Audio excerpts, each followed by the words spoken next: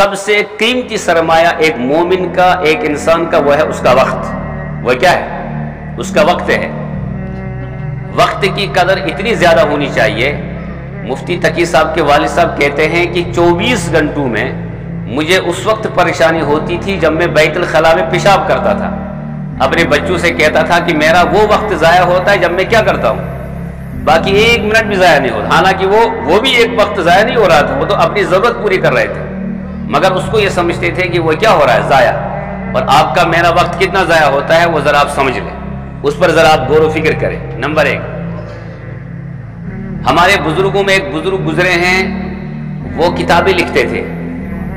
इतना वक्त को बचाते थे, इतना वक्त को, इतना लिखते थे, इतना लिखते थे, उस लिखने के लिए कलम को बनाना पड़ता था, तराशा जाता था कलम। उस वक्त तो ये कलम नहीं थे।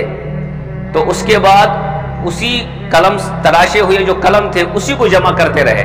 आखिर में जब गुसल दिया गया तो वही उन्हीं चीज़ों को जलाकर उस उनको गुसल दिया गया। इतना उन्होंने लिखा।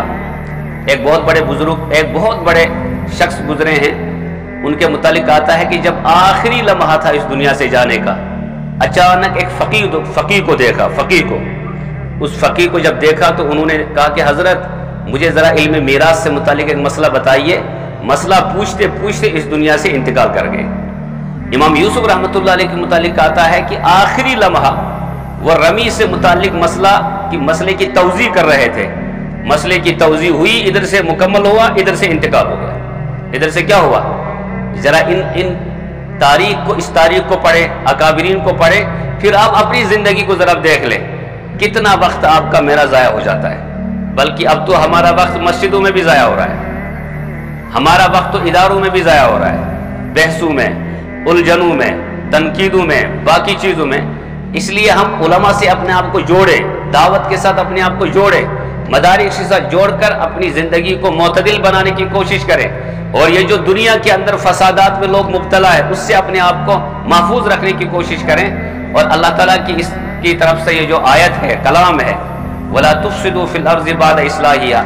मदरसे बने हैं, खानकाहें बनी हैं, इनको मज़बूत बनाने की कोशिश करें ताकि अल्लाह की तरफ़ से मदद भी आ जाए। देखिए, अल्लाह का वादा है, मेरा बंदा अगर कोशिश करेगा, मैं उसकी मदद करूँगा। अगर वो आदमी कोशिश नहीं करता है तो अल्लाह की तरफ़ से मदद नहीं आएगी। देखिए, कुरान करीम की एक आयत है, अल्लाह कहते तुम मुझे याद करो तो मैं तुम्हें याद करूँगा।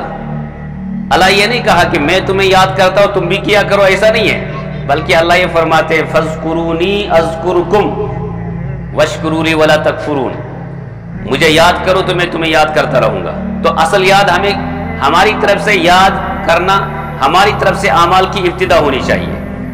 दूसरी बात यह कि जो मदारिस आपको अल्लाह ने दिए हैं, इसमें जो ये काम होता है, इसमें जो उलमा होते हैं, इस पर आपको शुक्र करना है। क्या करना है? शुक्र, तनकीदे नहीं।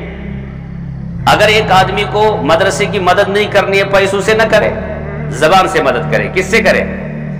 और अगर उसको जबान से भी नहीं करनी है तो उलमा कहते हैं, उसे चाहिए कि वो खामोश रहे। क्या रहे? ना वो तारीफ़ करे, न वो तनकीद करे, ताकि उसके तनकीद न करना ही मदद हो जाएगी। हमारा मामला यह है कि हम कुछ भी नहीं करते, तनकीद तनकीद तनकीद। तनकीदी रवैया अपनी ज़िंदगी से निकाल लें, ताकि ज़िंदगी के अंदर एक इतमान आ जाए। मदारिस के सिलसिले में मुतमिन रहें। अल्लाह ताला करे कि मैं भी बात को समझूं। आप भी बात को समझें। और जो कुछ गुफ्तु हुई है, अल्लाह ताला करे कि मैं खुद इस पर अमल करूँ, आप भी अमल करें। और यहाँ आपका मेरा आना सही मकसद से हो, सही नीयत से हो, ज़िमनन यहाँ बैठना ना हो। सल्लल्लाहु ताला अला खैर खल्क़िही मुहम्मद वला आलिही व अस्हाबी अजमईन। बरहमतिक या अरहमर राहिमीन